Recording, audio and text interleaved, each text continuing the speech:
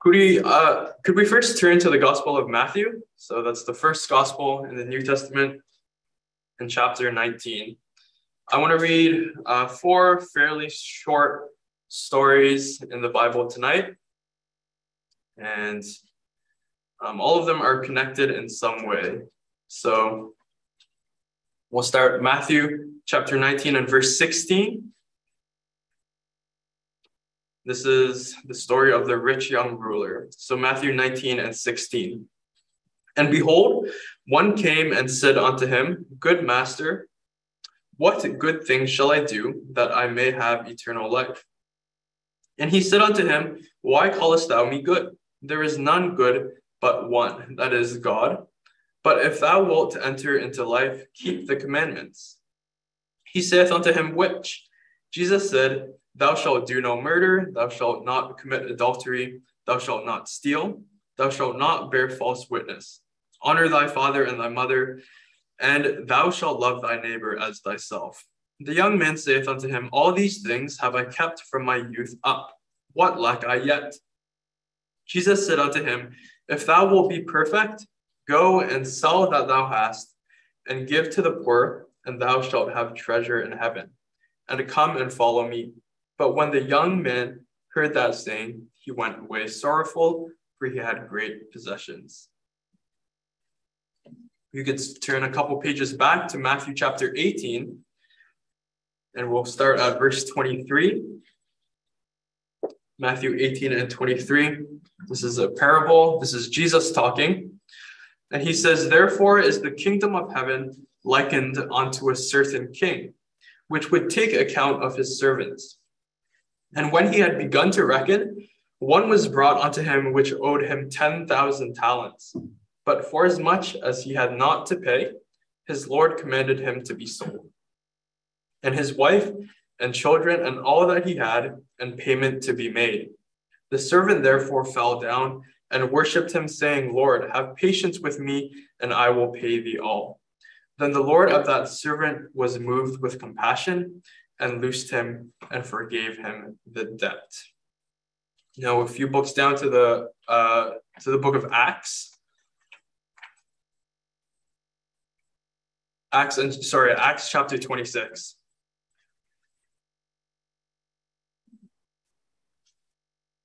Acts chapter 26 and verse 22. Actually, we'll we'll read a few verses at the start. So we'll start at verse 1. Acts 26 and verse 1. Then Agrippa said unto Paul, Thou art permitted to speak for thyself. Then Paul stretched forth the hand and answered for himself. And then we'll skip a few verses down to verse number 22. And this is still Paul speaking. He's addressing King Agrippa. And he says, Having therefore obtained help of God, I continue unto this day, witnessing both to small and great saying none other things than those which the prophets and Moses did say should come. That Christ should suffer, and that he should be the first that should rise from the dead, and should show light unto the people and to the Gentiles. And as he thus spake for himself, Festus said with a loud voice, Paul, thou art beside thyself, much learning doth make thee mad. But he said, I am not mad, most noble Festus, but speak forth the words of truth and soberness. For the king knoweth of these things, before whom also I speak freely, for I am persuaded that none of these things are hidden from him, for this thing was not done in a corner. King Agrippa, believest thou the prophets? I know that thou believest. Then Agrippa said unto Paul, Almost thou persuadest me to be a Christian. And then our final reading will be in the Gospel of Luke in chapter 12, Luke 12 and verse 16.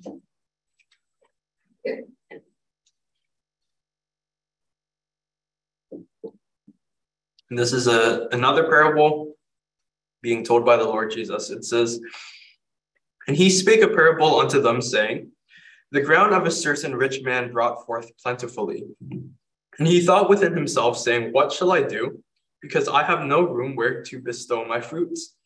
And he said, This will I do. I will pull down my barns and build greater, and there will I bestow all my fruits and my goods. And I will say to my soul, Soul, thou hast much goods laid up for many years. Take thine ease, eat, drink, and be merry. But God said unto him, Thou fool, this night thy soul shall be required of thee. Then whose shall those things be which thou hast provided? So is he that layeth up treasure for himself and is not rich toward God. May God bless the reading of his word. So we've read four short stories tonight of four men. Each of them had pretty differing circumstances, but all of them had one thing in common. And the key word that I want to focus on tonight is that word almost. Maybe uh, you figured it out from the hymn that I gave out, and if so, bonus points. So the word almost. Now, almost can be a good thing or could be a bad thing. I know when I was in school for engineering, I would have these projects, these technical projects, and they would almost be perfect, you know, almost full marks. And it was really frustrating because it would work mostly well, but then there was always something small that would go wrong, something that I overlooked, something that I missed. So almost was a bad thing. But on the other hand, almost could be a good thing. You know, you could be driving down the highway, you could have a close call with like another car, you forget to shoulder check or something, and you say, phew, that was almost really bad. And so in that case, almost is a good thing. Tonight we've read about four different men and each of them were almost at a point. The first man, we read about a rich young ruler. And by Jesus' standards, he was almost good enough. In Matthew chapter 18, we read uh, a parable, and it's of a man in debt to his king. And that man was almost condemned. Thirdly, I want to talk about um, Paul and his trial. He's speaking to King Agrippa, and after his address is finished, King Agrippa says that he's almost persuaded to be a Christian. And then finally, we'll look at Luke chapter 12. We'll see another parable, another rich man, unaware that he was almost out of time. So, first, we'll start in Matthew chapter 19. And I want to talk about a man was almost good enough. So, this uh, this story actually happens in three gospels. And if you kind of combine all of the accounts of these gospels, we can learn a little bit more about this man who comes to Jesus. So this man, he, he had a lot of things good going for him. He was young, he was wealthy. Um, we also read that he was a ruler, which means that he was probably part of the Sanhedrin, which is kind of like the Jewish Supreme Council. It consisted of the Pharisees and the Sadducees. And that council would have had um, civil and criminal and um, religious jurisdiction over the Jews in Israel. And so this young rich ruler he comes to Jesus and if he asks him a very specific question. In verse number um, 16, he says, um, Good master, what good thing shall I do that I may have eternal life? Now, the interesting thing is that um, he's not just asking, you know, how can I have eternal life, but very specifically, he was asking, what good thing could he do? What it's almost as if he was looking for a task or, you know, some rule to live by, which would guarantee a spot in heaven for him. And so, first of all, Jesus replies, um, There's none good but one, that is God. He's kind of trying to hint at the fact that, you know, if you want to be good enough to get to heaven, if if you want your good works to get you to heaven, then really you have to be as good as God Himself. You have to be perfect. You have to be completely righteous and holy. But um, we don't read of the the ruler saying anything. This statement doesn't seem to faze him. So the Lord Jesus goes on, and he talks about a few commandments. He says, follow the commandments. And now there's lots of commandments. We have the commandments in the law. We, we would have also had some commandments, you know, made by men, by men, some like legalistic commandments that were not specifically from God, but would have been enforced by the Pharisees. And so the man rightfully asks the Lord Jesus, what commandments are you talking about? And so the Lord Jesus goes through some of Moses' 10 commandments. He says, um, don't murder, don't commit adultery, don't steal, don't lie, honor your father and mother, um, love your neighbor as yourself. And then the young man replies, um, All of this I've done since my youth. I've never broken any one of these commandments that you're talking about. And it's hard to know whether or not he was lying, whether he was telling the truth. No doubt, you know, a man of this stat- status, of this um, of this wealth, he was probably a good man. It's very possible. But then Jesus gives him one more commandment. And he says, Sell your possessions, give the money to the poor, and follow me. And it's at that moment that the young man realizes that he wouldn't be able to do that. You know, he, he realizes that he loves his possessions, he loves his money, and, and all the things that he had earned too much to give them up for God. He might have been a good man, but he was only almost good enough to make it to heaven. It's very easy to see ourselves as a good person, you know. We compare ourselves to all those stories of criminals that we see on the news or whatnot, you know, other people around us, and we think that we're pretty good. And, you know, you might very well be doing more good deeds than bad deeds in your life. You might go to church and donate money to the poor. You might love your neighbor.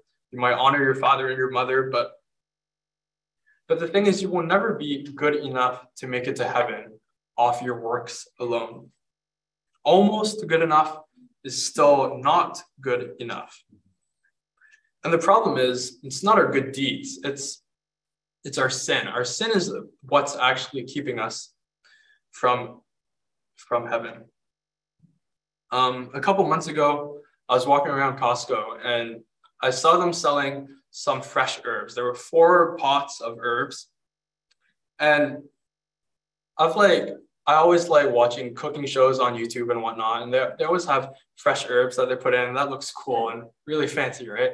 So I thought, you know, I'll give it a shot. You know, my apartment's looking pretty drab. It'd be nice to have some greenery to, you know, freshen it up. So I brought home some herbs put them on the windowsill, you know, did my Google research, how much to water them every day, and uh, what when to put them out in the sun and whatnot. So I, I monitored them like pretty pretty well for like the first week or so.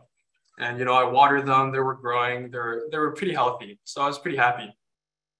Um, and then one day I noticed in my basil plant that it was starting to look a little like patchy. Like the leaves there was like a bit of discoloration. There was these black specks on it.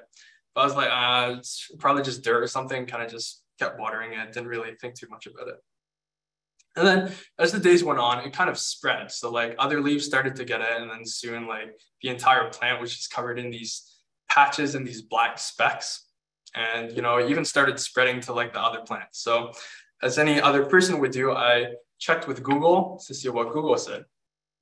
And apparently, according to Google, there's there's a possible infestation to your plants. So there's these little bugs called thrips.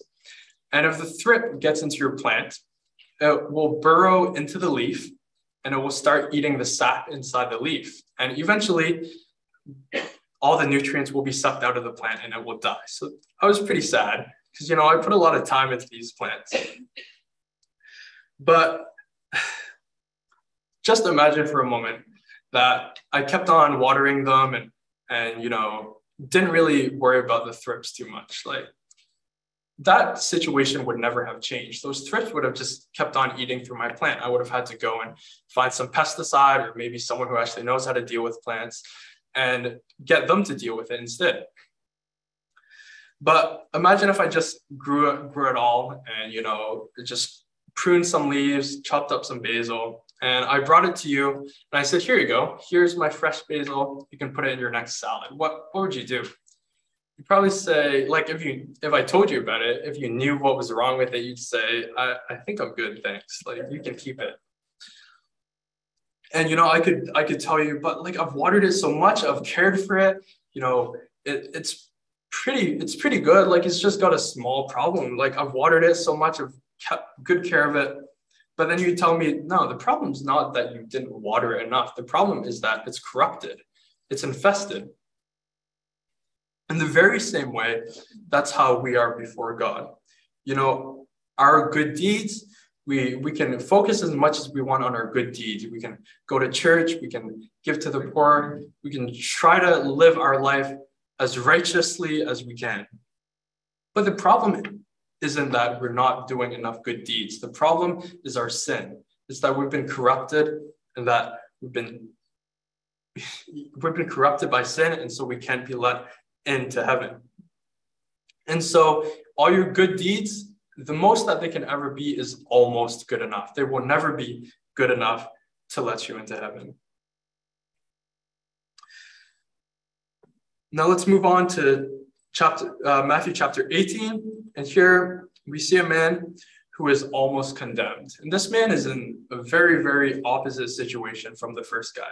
The first guy, where he was wealthy and he was powerful, he, he had a lot of good things going for him. This man is really has hit rock bottom. I don't I don't really think that he could have been in much of a worse situation than he was. And the Lord Jesus talks about a parable of this man, and he owes 10,000 talents to his king. When I was young and I was reading through this, I thought 10,000 talents is maybe like a 100,000, maybe like a million. I never really understood how much 10,000 talents were. So let me just try to put it into perspective for you. So one talent back then is 6,000 denarii, and one denarius is the equivalent of a day's wage. So that's you would have paid one denarius to your average manual worker. So let's let's put it in Ontario standards. So minimum wage is $15.50 right now, I think. So if you work um, eight hours a day, that means your day's wage is 124 bucks. That's one denarius. So that means one talent is 6,000 days wages. And one talent itself is already a lot of money. That's like working um, six days a week for 20 years, or maybe working 16 and a half years every single day, no holidays, no weekends. Okay, so one talent, if you do the math, is about $744,000. That's a lot of money. But this man, he didn't just owe one talent, he owed 10,000 talents. And so if you move the decimal a few places, that's actually $7.44 billion. That's a lot of money to owe someone. So if I put it like that, you can really see how much trouble, how much debt that this man was in. And so we read the parable, and he comes before his Lord, his debtor, and and the Lord condemns him because obviously he can't pay that much money. So the Lord condemns him to slavery and his family. And maybe the Lord will recoup a tiny fraction of what that man owes him. And what the man does is he pleads for time to repay the debt, which is kind of crazy if you think about it, because it would have taken him several lifetimes to pay that debt. But I guess really he didn't have much other choice. He had nothing really else to offer. But the king has compassion on him. And not only does he, he doesn't just give the man more time because more time would really have been pointless. Instead, he forgives the full $7.44 billion of debt. And this man, you know, he might have thought that all hope was lost. He was almost condemned. He was basically there. Like there was he probably thought that he would have never experienced another free day in his life. And yet, that king forgave him of his entire debt. You know, there's many of us tonight here, and we can we can sympathize with this man, and we can, myself included, we can remember a time in which we were almost condemned, in which we owed a debt of sin to God, even larger than that man, a debt that could have never been calculated, a debt that even over multiple lifetimes could never have been paid. But just like that king, God has forgiven us of that mm-hmm. debt.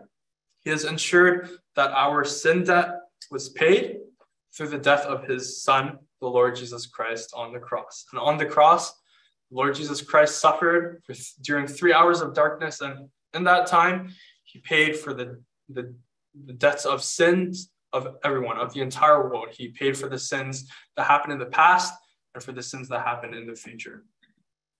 And tonight you have that same offer that that man in the parable has had. You have an opportunity to completely erase this massive debt.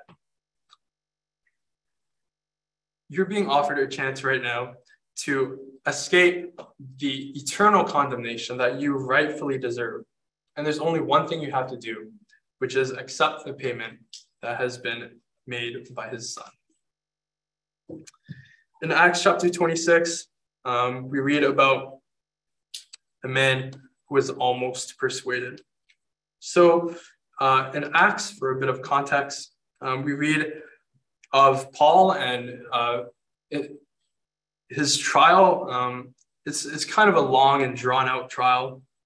So, and which Paul is in the middle of, and he's kind of in trouble because of his public preaching to the Jews. So, you flip back a couple chapters, you see that he's being um, accused of being a troublemaker, of stirring up riots, and of profaning or of disrespecting or um, being irreverent towards the temple. And so he finds himself in front of King Agrippa. And King Agrippa would have uh, been part of the Herodian family. Um, he would have had um, dominion over some of the territories north of Judea, and he would have been pretty familiar with a lot of Jewish customs. Paul even calls him an expert in um, Jewish customs and religion. And and this is kind of like both uh, a defense for Paul, but also turns out to be a gospel message as Paul talks about his testimony. He talks about how um, he had persecuted the church, and then he talks about how um, he he repented and he was converted. Um, and then he ends his address in verse uh, 22, chapter 26 and verse 22, and he says, um, he talks about what he was actually doing. He wasn't trying to stir up riots. He wasn't trying to be a troublemaker, but he says um, he was trying to, he was witnessing both the small and great, saying none other things than what the prophets and Moses said, that Christ should suffer and that he should be the first that should rise from the dead and should show light unto the people and to the Gentiles. And, and then he asks King Agrippa a question. He says, Do you believe the Old Testament? Do you believe the pro- what the prophets and what Moses said about the Lord Jesus? Do you believe what I have been talking about?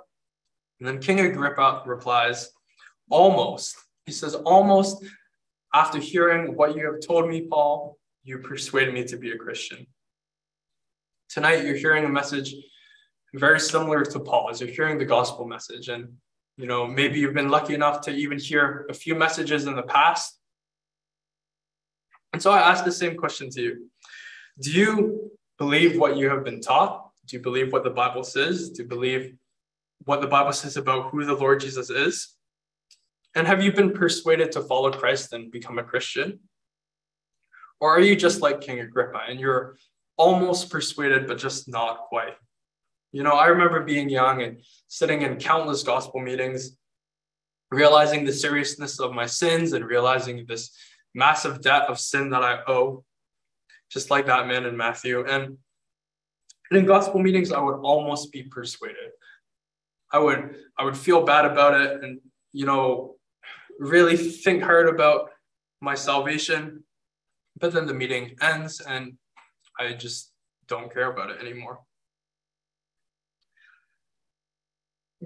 King Agrippa was almost persuaded, but that wasn't enough. You know, we we don't really know. Further on, it doesn't say whether King Agrippa changed his mind, changed his stance, or or anything. But what we do know is that being almost persuaded isn't good enough. Being almost persuaded won't get you to heaven. So maybe you're almost there. Maybe maybe you almost are a Christian, but there's just something else that's keeping you. It's it's your preconceived notions. It's things that you've believed before. It's the things that you don't think are true.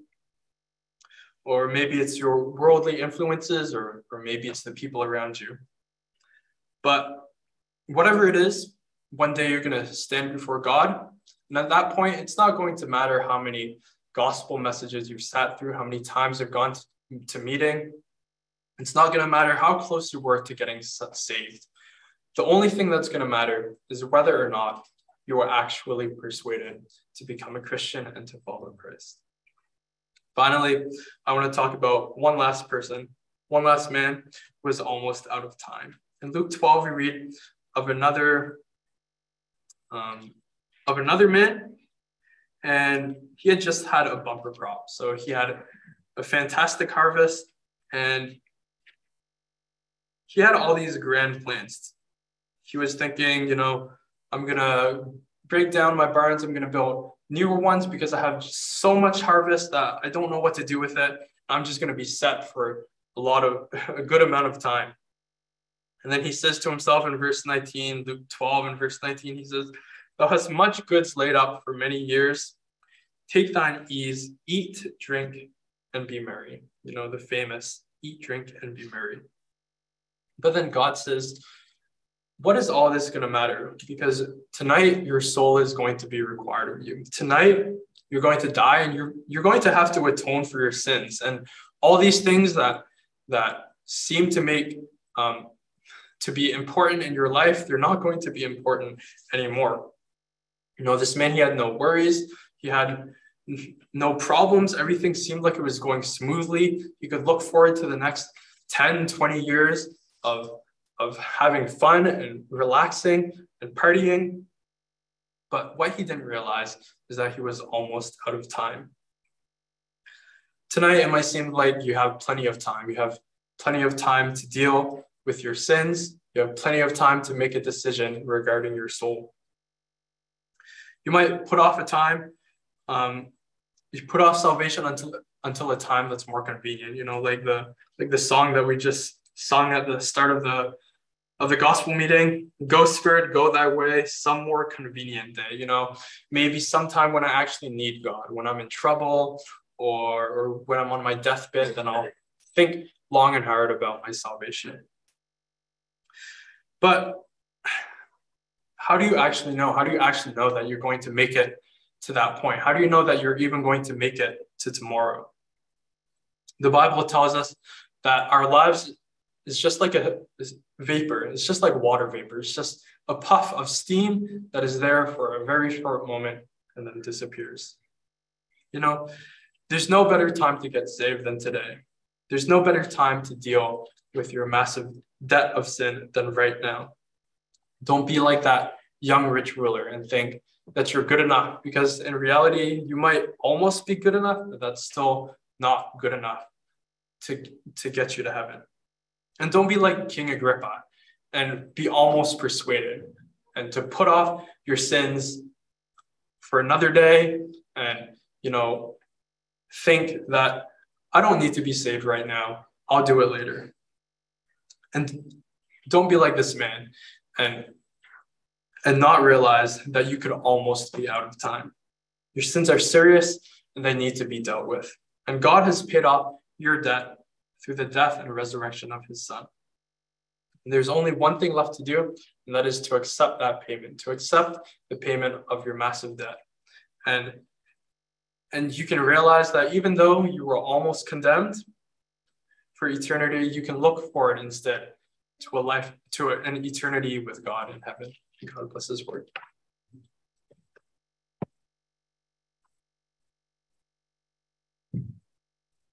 Let's sing just the first verse in the course of number 26. Come into the sweet invitation of grace. Come unto Jesus, the soul's resting place. Come for his suffering for sinners of God. Come for the Father's well pleased the Son. It's the first verse in the course of 26. Come is the sweet invitation of grace.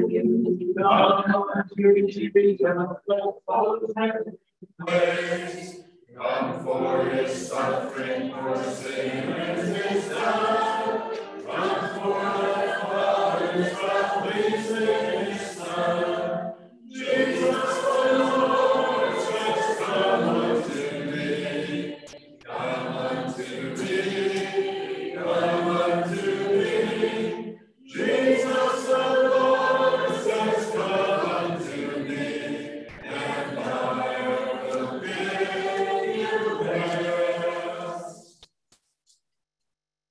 Again, thanks for coming. And you might also have guests tonight that I'm going to speak on this word come. And I'll probably close the meeting thinking a little bit about Matthew 11 and 28. Come unto me, all you that labor and are heavy laden, But I want to speak about the word come from three different perspectives. I want to start out thinking a little bit about the idea of come for safety. And then we'll spend a bit of time thinking about come for settlement. Then I want to end tonight thinking about come for sure. We're going in three passages. We'll start at the beginning of our Bible in Genesis chapter 6. And we'll read in Isaiah and then in Revelation. But first of all, in Genesis chapter 6.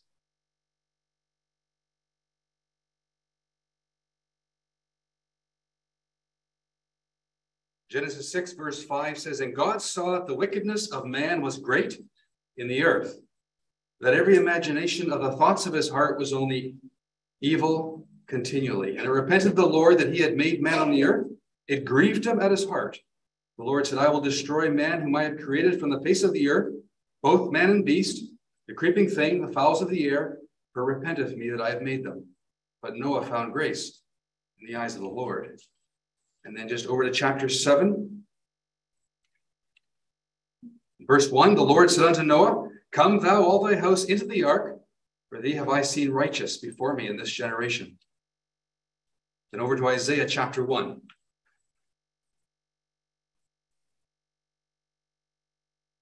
Isaiah chapter 1.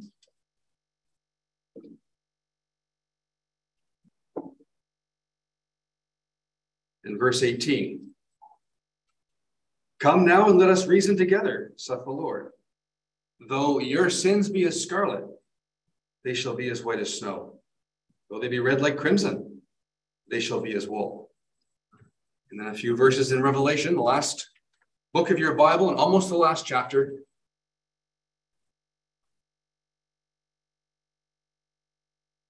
Revelation chapter 20.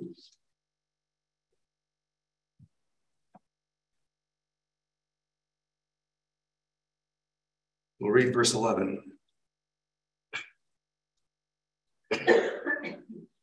And I saw a great white throne, and him that sat on it, from whose face the earth and the heaven fled away, and there was found no place for them. And I saw the dead, small and great, stand before God, and the books were opened. Another book was opened, which is the book of life.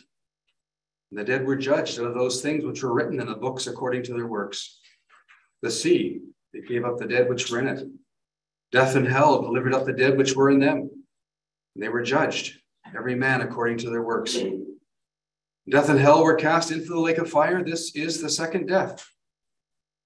Whosoever was not found written in the book of life was cast into the lake of fire. You know, as we began to read in Genesis chapter 6, we read a story that I think every single one of you is very, very familiar with the story of Noah and the ark. But first of all, as you begin to read those few little verses that are found in Genesis chapter 6, if you had only started back a few chapters before, you should actually be surprised to read those first words in Genesis chapter 6. Note what it says in verse 5. God saw that the wickedness of man, it was great in the earth. And if you were just reading this for the first time, I think you would immediately flip back a few pages and jump back to Genesis chapter 1. Because you would say, how could it possibly be that God had just created mankind? And now, just a few short years later, God looks at this world that he created. What does he see? He sees a world that is permeated by evil. He sees a world that is filled with sin. He sees a humanity, a creation, and the very thoughts of their heart, the intents of their mind, everything they're involved in, it seems to be characterized by sin. And you would maybe step back and say, how is it possible that in just a few short years, this magnificent creation that God had made spun forth from the very heart and mind of God, absolutely perfect? How could it be that suddenly you step back and what you see is individuals who are committing sin. A creation that's marked and scarred and blackened by sin. Individuals doing things that you could hardly even begin to comprehend that they would actually do them. Individuals killing each other. And everywhere you look, what does God say? Verse 5 God saw that the wickedness of man was great in the earth. And so people's actions, they were marked by sin. The motivations that caused those actions to begin were motivations that were rooted in a heart of sin. The results from the actions, those results were tainted by sin. Why? Because sin had entered our world. It had permeated our environment. It had become the norm. And God looks and he sees the wickedness of mankind. It says God repented himself. And you would continue to read and you'll remember the story. God speaks to Noah and he tells Noah, You've got to build a boat. I spent a, quite a bit of time talking to Rob recently about building a boat and how complicated and difficult it is. Well, Noah had never built a boat before. And God tells him to build a boat and he's going to entrust his family to that boat. And God gave him the design and God told him what to do and how to do it. And God told him to start. And Noah started. And you'll remember as you keep reading that when that boat was complete, the animals began to come and the animals entered the ark. And what does Noah do? He calls his family. Why? To come for safety. Noah and his family, they go up that gangplank and they enter the ark. And God shuts the door. And Noah's family were just as safe the moment they entered that door as when their feet found themselves on Mount Ararat and that storm of judgment was past, and they were safe. Why? Because they came for safety. And God's judgment was poured out on this world. Why did God judge the world? Because the wickedness and the sin of mankind had permeated every aspect of creation, and judgment came. But there was a little family that was preserved, a little family that found safety, found a place inside what God had provided. Noah could never have designed that by himself. God told him what to do. And God shut the door, and that ark was lifted up on the waves of the wrath of God. They were absolutely safe. When Jesus Christ came into the world and died on the cross, do you know why he came? That you and I could come for safety, that we could be saved. The very second that I was saved, I was just as safe as I will be in eternity. The very moment I trusted Christ, nothing else needed to be added to it. That was it. All my sins, past, present, future, paid for by the blood of Jesus Christ. And I came for safety, and I was absolutely safe. Would you like to be safe tonight? We listened to Mark and Lori's message on Tuesday night, and I told this to a couple of people, but I said to my wife on the way home, How would you like to be going to bed tonight in a compound surrounded by jungle, in a country that is filled with danger? Yet you and I go into our homes and we lock our windows we lock our doors and sometimes put an alarm on and we think we're safe. And we're not. And the only real safety you will ever found, find is found in the finished work of Christ. It's found in knowing your sins are forgiven that his blood has paid the price for your sin, and you can be safe because Christ Jesus came into the world to save sinners. Come for safety. Then I want to think over in Isaiah chapter 1. This little phrase, come for settlement. See, I think it's quite possible as you think of the backdrop of sin that it's not hard for you to recognize what Noah's day was like. You and I walk our streets, we look at our newspaper, we turn on the internet, anything at all. And what you see is individuals who the thoughts of their heart is sin. What got me thinking about this actually was a couple of months ago. It was very late on a Sunday night. And we got talking about the reality of sin. That it's, it's really hard. It's really hard to take in, to understand that, one sin could be awful enough that it would require eternal punishment. That it's actually true that the sins that we sometimes think are just so, so simple, so small, that those sins could require the punishment of God. As we talked that night, we, we, we talked about a bunch of things, but we began to realize this You know, I can never really understand the value of what Jesus Christ has done until I understand the awfulness of an individual sin.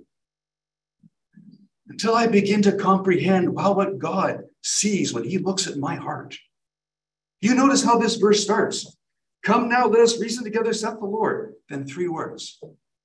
Though your sins. See, this is where it gets personal. This is where it gets so individual. So we were sitting here this morning listening to Nick speak. He happened to say, and I was listening. He said, Mr. Morton. And I thought, there's four of us here. Who does he mean? One's pretty young, but it could have been any one of us.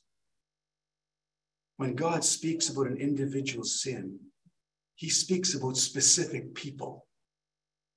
You and I, we have no problem recognizing the world has sinned. It's not hard to say that, yes, those people with the terrible things they've done, they have sinned. But for me to stop and say, I, I have sinned.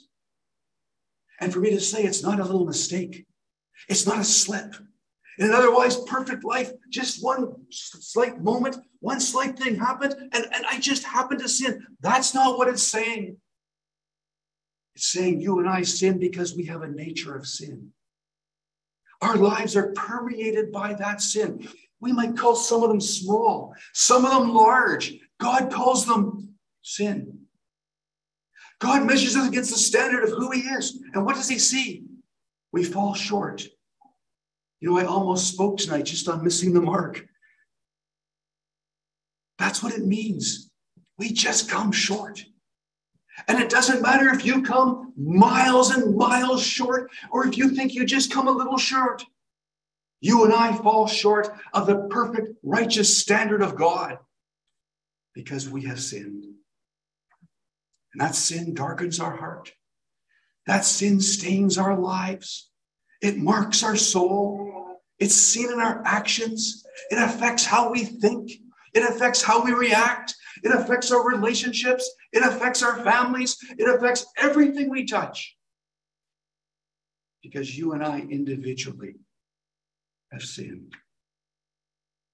And Isaiah chapter 1 and verse 18 says, Come now, let us reason together, saith the Lord. Though your sins, your sins, your sins be as scarlet.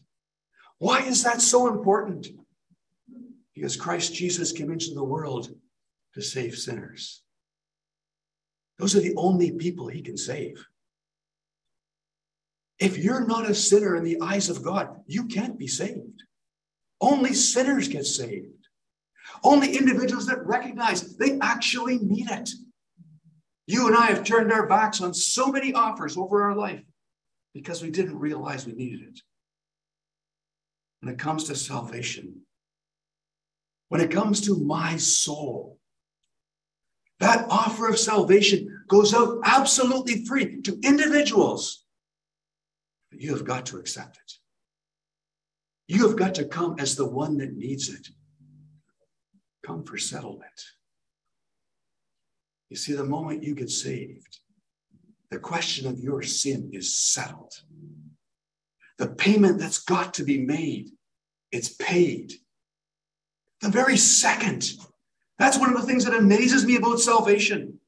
We learn about it for years, most of us. Some people get saved the first time they hear the gospel. I know a man in Toronto we were good friends. And he told me, I was dying for a smoke. First time he ever heard the gospel. He went downstairs and he looked at a verse and he got saved. He never heard it before.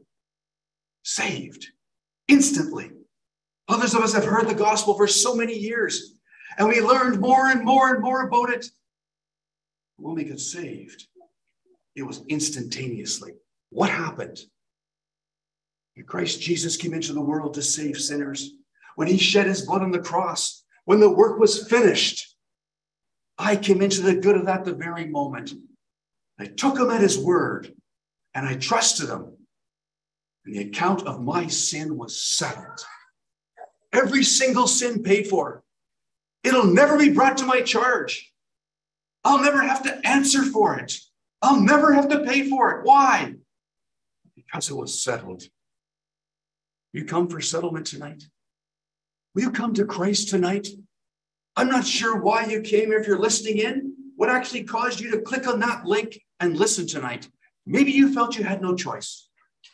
Maybe you simply were looking for something else to do. Maybe you're just lonely tonight, looking for something that will fill that void. Come to Christ tonight. Come to Christ tonight. Come for settlement. In that very instant, your sins will be paid for and you'll be saved. I want to close tonight looking at that last passage over in Revelation chapter 20. And I can tell you, I hesitated whether to speak on this passage tonight or just to stop with the first two. Going through my mind over and over again were those little words come for sure. Come for sure. Life is short. Life is fragile. One second, someone's vibrant, full of life. And just a second later, that little spark that's been keeping them going, it's gone. And they're out into eternity. What then? Come for sure. When you look at Revelation chapter 20, you look at the start of verse 11. I saw a great white throne, him that sat on it. Who's sitting on the throne? Jesus Christ, the Lord Jesus Christ, is sitting on the throne. And maybe tonight you say to me, How, how can that be possible? How is it possible that a loving God, how is it possible that one who gave his life for sinners, how is it possible he's now sitting on the throne and he's the judge? Because a righteous God can never permit sin to enter heaven because a righteous God who gave his son that whosoever will may come. There can be no middle road. One of the tragic parts, I can share this, of the conversation we were having a number of weeks ago was you know, you say there's individuals who, because of their sin and missing salvation, will spend eternity in hell. And there's those that will be saved. But then surely People think surely there's got to be something in the middle. It can't be so black and white. There's got to be something in the middle. Dear friend, tonight there's not. When I read this passage, it tells me there's not. There's those who are lost, and there's those who are saved. There's those whose sins are forgiven, whose account is settled. And there's those whose sins have never been forgiven, whose account has never been settled who are lost for all of eternity. And you will either come to Christ in life or you will face him as your judge. And I read these verses in Revelation chapter 20, and I think of what it will be like to stand before a God, the God of eternity, the books to be open. And if your name was not found there, it won't matter what your heritage is. It won't matter how many degrees or what title was written on your office door. None of that will matter. All that will matter is do you have Christ or do you not? And those that are saved will never stand before that great white throne of judgment because their account has been settled. And those that stand there that day, there's no going back. There's no second chance. There's no opportunity for a reset. Life is over. Destinies are sealed. And those that are standing there that day are only waiting to hear that final judgment. What did it say? Whosoever was not found written in the book of life was cast into the lake of fire and individuals who have missed Christ, individuals who have missed that open offer of salvation, who could have been saved, are lost and lost for all of eternity. Will you come for sure tonight? Colin mentioned, you remember what it was like to not be saved. I remember it clearly.